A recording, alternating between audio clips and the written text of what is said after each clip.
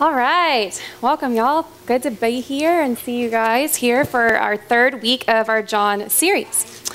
Uh, throughout Scripture, we see that names have significance. They hold a lot of value. God even changes some of the people's names that we find throughout the Old and the New Testament. Does anybody know some of the name changes that happen in the Bible? Yes, read.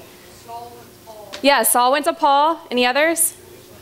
Sarai becomes Sarah. Abram becomes Abraham, yeah, those are some pretty easy ones. What about um, uh, one other one that I wanted to go over? Uh, it's really not that important, but now, oh, Simon. Simon Peter, there we go. All right, good. Yeah. One last one. Um, often, when God changes these names, it gives us a glimpse into what's going to happen for them, maybe some of their meaning or purpose, or looking into the future for them, some of their direction. How many of you have you ever thought about, like, do you like your name? Have you guys thought about that before? Who really likes their name? Anyone, like, really bummed out by their name? Some people? Okay. I can remember when I was in, like, third grade in elementary school, there were, like, six or seven other Lindsays. Like I felt so not special, so unoriginal, because there were all these Lindsays all in my third grade class. But the ironic thing is, we don't get to choose our names. Like we don't actually get to pick those. Somebody else picks those for us. Our parents choose our names for us. Often, sometimes with different kind of meaning or value behind it, sometimes random. Uh, so when David and I were uh, when we got pregnant the, the first time um, with our first son, uh, we really wanted a girl. Like we were so, both of us, both David and I, like for whatever reason, we were fixated on having a girl. We were so excited about that. And I remember going to, you get an ultrasound and the ultrasound technician, if you want to find out the gender, will tell you the gender um, of, your, of your baby. And I remember we were both there and we were like, we are so excited. We had these names in mind for girls. And she said, you're having a boy. And we were both like, whoa okay. Like, felt guilty instantly that, like, we were almost, like, disappointed. Like, that just feels so wrong. But we just had been, for whatever reason, it's not like you have control over it or can plan this out, but we just had been thinking, kind of fixated on the fact that we're to have a girl. And I remember the ultrasound technician walked out of the room, and then David turns to me and says, What do you think about the name Parker? I was like, Huh, I like it. We hadn't talked about any boy names previously at this point, and I just, I really liked it. There was something special about that in that moment, and so we discussed other names, we brainstormed others, but we really just stuck with that one. We kept coming back to Parker. And then a few weeks later, we are getting together with our family, and I remember like telling my, my family on my side um, what we were going to name our first child. And they were like, oh, cool, how'd you come up with that? And I told them the story or whatever. And then my dad proceeds to say, well, that's weird. You know what? The street I grew up on in Michigan was named Parker Avenue. So here's Parker. This is, I think he's like two years old there. His birthday is the end of this month. So that was like right at two years ago. Um, so it was really cool that the name we chose, he grew up on Parker Avenue. So his great, great um, grandparents' house uh, is like right across the street. You can see it, their house from that sign. Um, so then we, we have another son named Preston, and we kind of got fixated for whatever reason on having two P's in our, in our family um, for, our, for our children. I don't really know why, but we just wanted to go that route. Um, but there's not too many options when you do that, and so we came up with Preston. And then it was so cool. On, my, on David's side, the house that his mom grew up on was Preston Street. Just kidding, that's not true at all. Yeah, but this is true, and this is where my, my dad grew up and lived across the street. But no, Preston, it, we just kind of liked the name. And some of you might have kind of stories like that. You're like, the parents are like, eh, I just chose the name. And you're like, thanks, I don't feel special at all. Um, I'm pretty sure Lindsay was like that, but that's okay. I've, I've grown to like my name now. Uh, but when it comes to God, there's different names that we often use to identify God. I think about it sometimes when we go to God in prayer and we use different names to interact with God. What are some of those names that you all use when you call on God? Jesus, Father, any others? Lord, Dad, yeah, Dad or Daddy, Abba, Father. Some others, Savior, King, Redeemer. Shh there's a lot of different names that we sometimes use to identify God, and it often gives us a clue on how we relate to God as well. I want to turn to Exodus in the Old Testament when God gave Moses the job of delivering the Israelites from slavery in Egypt. And then Moses decides to ask for God's name. Kind of this scripture passage kind of reminds me of that moment when you meet somebody and then you meet them again and then you see them again, you're like, oh shoot, I totally should know their name, but I've forgotten it. And it's too late now, like too much time has passed that I can't ask them that before. Has that happened to anybody else? And I literally was at a birthday party for Parker the other day, and this girl was like, hey, and I was like, hey, I guess we should know each other because you're acting like we do, but I really have no idea who she was. Left the party, still don't know. Um, but it, it was nice that uh, at some point in time, maybe we had met. All right, so looking at Exodus 3, I, am not sure. I mean, I believe her, but I don't know. Uh, looking at Exodus 3, verses 13 to 14. But Moses said to God, If I now come to the Israelites and say to them, The God of your ancestors has sent me to you, they are going to ask me, What's this God's name? What am I supposed to say to them? God said to Moses, I am who I am. So they say to the Israelites, So then say to the Israelites, I am has sent me to you. So Moses had fled years earlier. He was living in another land, and God spoke to him. And we remember this burning bush scene and told him to, he's going to take on the most powerful nation in the world. And Moses didn't want this job. Has anybody ever given you a task before, given you responsibility, and you're like, I don't want to do that? Like, I don't feel qualified. I, am not sure why is, why is somebody asking me to do that? Why is God calling on me to do that? So that's Moses here. And Moses is like, I think I should at least know the person's name of who's kind of hired me, who's taken me on. And God said, I am who I am. Tell the Israelites, I am has sent me to you. It's kind of a strange answer, right? The actual name in Hebrew is written out without the vowels and can be translated as either I am who I am or just I am. In English, it comes out to YHWH and pronounced Yahweh. But the Israelite people in the ancient Jewish culture, they, the descendants often thought it was just too powerful and too great of a name to even say out loud, and they would substitute it often with other names like Lord or Adonai.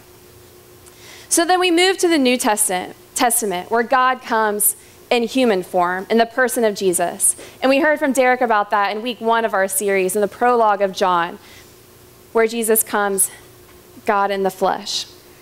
And so now we turn to John chapter 8, and Jesus is talking to some religious leaders here about Abraham, another important person from the Old Testament, and says, Very truly I tell you, Jesus answered, before Abraham was born, I am. So this infuriated the religious leaders. They're like really upset at this point, kind of mind blown that this guy, Jesus, is claiming to be God.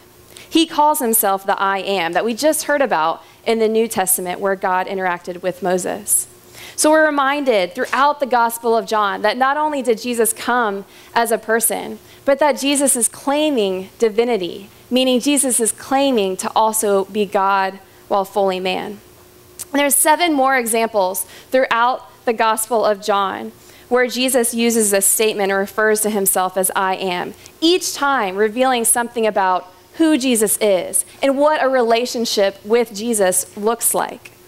I'm going to look kind of more closely at just one of those during our teaching tonight, and there's six others that you'll get to explore in your small group time later. So, do you remember what did Derek talk about last week? Anybody? John is right. What from the Gospel of John? What did Jesus do? Turn water into wine. Yeah, so and the, at the wedding, very good. Wedding, yeah, okay. So the miracles that Jesus performed, many miraculous signs throughout the Gospel of John and others. And so there's a miracle story where Jesus takes just a few loaves, a few fish, and feeds thousands of people. He multiplies the food and feeds many. So that's where we have a miracle story, and we'll pick up in our scripture passage tonight. And Katie Stamper is going to come and read some scripture for us. Katie, if you want to come on up. Here you go, Katie. So this is in the Gospel of John, chapter 6. She's going to start in verse 26 down here, Katie. Okay. use the mic. Um, and then if you want to stand over just a little bit, Katie. Everybody see Katie? Katie's going to be up here for a little while. Katie, you can go ahead and get started, and then I'll stop you in just a minute. The bread of life. Jesus replied, I assure you that you are looking for me, not because you saw miraculous signs, but because you ate all the food you wanted. Don't work for the food that doesn't last, but for the food that endures for eternal life, which the human one will give you. God the Father has confirmed him and his agent to give life. Okay, pause, Katie, and then we'll pick up in a minute. So, what do you think that he means when Jesus says, don't work for the food that doesn't last? Like, that's kind of confusing. Don't work? Like, don't we have to work to get food? Isn't work important? Aren't jobs important? Don't we often work so that, don't worry about it. Don't we often work so that we can have money so we can buy the things that we need, like food, shelter, clothing? Jesus, I don't think, is saying that work is bad. Jesus isn't saying that money is bad. We need that to buy things like food that Jesus is talking about here. But what do we want most in life? I think that's what Jesus is getting at. What do we spend most of our time doing? Netflix? Yep, that's no, that's a that's a very valuable answer there. Uh, other things that I think we we kind of ascribe to and spend our time doing is for the temporary high of success so that we can be seen as something great. Or achievement in our grades so that we can make our parents proud or happy or put us on that right path for success with college. Or sometimes working for, for popularity so that people can like us. I know I'm guilty of all of these things, even Netflix included. Um, and these things aren't bad by themselves, those aren't bad things to strive for. But Jesus instead says in this passage, work for the food that endures for eternal life. Jesus has the power to sustain us. Jesus has the power to fill us and give our lives meaning and purpose. You can read the next verse. Okay. They asked, What must we do in order to accomplish what God requires? Okay, what did, what did Jesus say here? What, what question? Read it again, Katie. Wait, Okay. what must we do in order to accomplish what God requires? They're asking, the people ask, what must we do? I think it's really interesting. They're asking, like, what can I do? What's, what's something like an action verb? That's the kind of response they're looking for. Read the next verse. Jesus replied, This is what God requires, that you believe in him whom God sent. So, what was Jesus' answer to their question? Yeah, it's to believe in him. So they wanted something, I think, kind of simple, like do this one thing, be nice to this one person, help just this one person, give money to, to specific charity. And while I fully believe that a relationship with Christ calls us to action, it calls us to do things with our faith. But here, Jesus is reminding us that it's so important to believe in the one whom God sent. He's saying, I must first believe in Jesus. And I think that has a lot to do with trusting in Him. And often that's even harder. All right, you can keep going. Turn the page. They asked, What miraculous sign will you do that we can see and believe you? What will you do? Our ancestors ate manna in the wilderness, just as it is written. He gave them bread from heaven to eat. Okay, pause. As if it wasn't enough that Jesus has already performed these miracles. He's already fed thousands of people. And they're like, just one more, Jesus. Like, what else are you going to show us? What else can you, like, pull out of your bag of tricks? Is kind of what the people's response is here. They're wondering, what else can you do? We want more. And then they recall from history what God had done for the people, but they refer back to Moses when they were wandering in the desert and God provided a very special and specific kind of food. Does anybody know what it was called? Manna, yeah. So God provided for them in the Old Testament, and they're recalling this strange bread, this manna. You can pick back up. Jesus told them, I assure you, it wasn't Moses who gave the bread from heaven to you, but my Father gives you the true bread from heaven. For the bread of God is the one who comes down from heaven and gives life to the world. They said, Sir, give us this bread all the time. Jesus replied, I am the bread of life. Whoever comes to me will never go hungry, and whoever believes in me will never be thirsty. But I told you that you have seen me and still don't believe. Everyone whom the Father gives to me will come to me, and I won't send anyone away who comes to me. I have come down from heaven, and I've come down from heaven not to do my will, but the will of him who sent me. This is the will of the one who sent me, and that I won't lose anything he has given to me, but I will raise it up to the at the last day. This is my Father's will, that all who see the Son and believe in him will have eternal life, and I will raise them up at the last day. Awesome, Katie. Thank you so much. I know there's a big chunk of it there at the end. Thanks for reading. Thanks for hanging in there. A lot of scripture there at the end.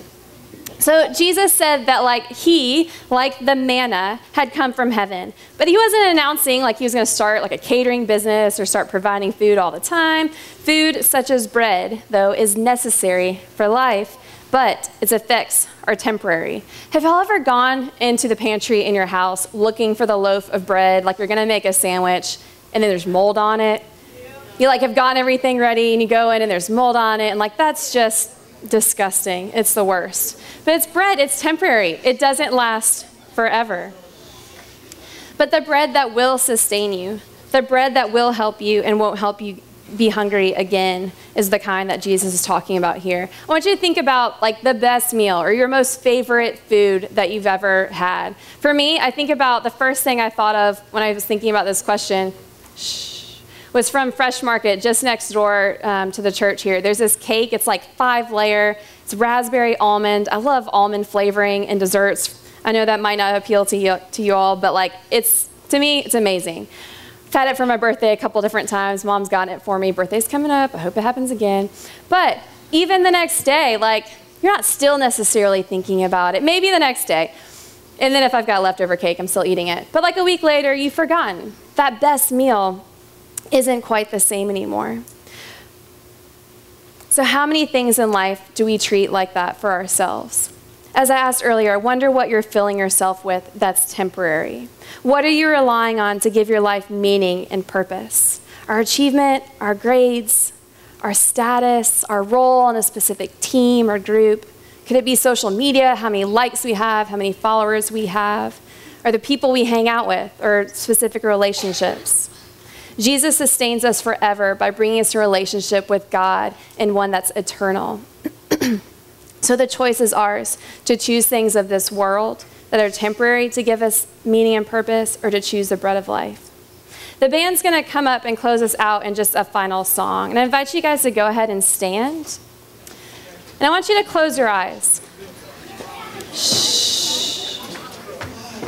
I know it's so tempting. Talk to our neighbors. Want you guys to close your eyes.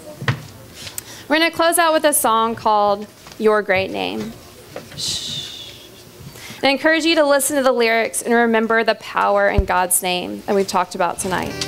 The Israelites thought God's name, the great I am, was so sacred and great that they couldn't even pronounce it.